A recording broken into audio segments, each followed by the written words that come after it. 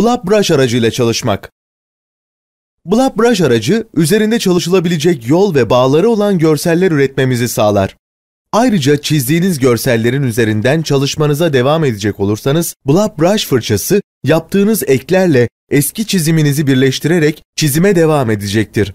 Fırçanın özelliklerini değiştirmek için, araçlar panelinde Blob Brush simgesi üzerine iki kez tıklayabilir ya da fırça panelinden herhangi bir boyama fırçasını seçebilirsiniz.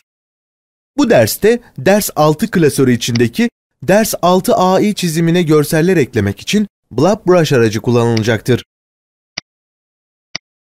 Tools panelinden Zoom Tool aracını seçin ve ekleme yapmak istediğiniz alana fare ile tıklayarak yaklaşın. Tekrar Tools menüsünden seçim işlemi yapmak üzere Selection Tool aracını seçin ve resimde ekleme yapmak istediğiniz parçanın üzerine tıklayın. Bu işlem sonrasında ekleme işlemine başlamak için Tools panelinden Blob Brush aracına çift tıklayın. Ekleme özellikleri penceresi açıldığını görüyorsunuz.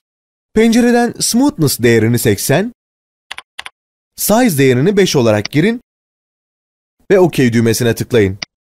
Blob Brush fırçasını daha önceden seçmiş olduğunuz şeklin ucuna götürün ve fare tuşunu basılı tutarak çizim yapın. Fırçanın seçtiğiniz şeklin rengiyle eş olarak çizim yaptığını görüyorsunuz. Bu her seçim için seçilen parçanın rengini alan dinamik bir özelliktir. Çizimi bitirmek için fare tuşunu bırakın. Çizim şekli eklendi. İzolasyon modundan çıkmak için Select, Deselect seçeneğini seçin ve çalışmanızı kaydetmek için File, Save seçeneğini uygulayın.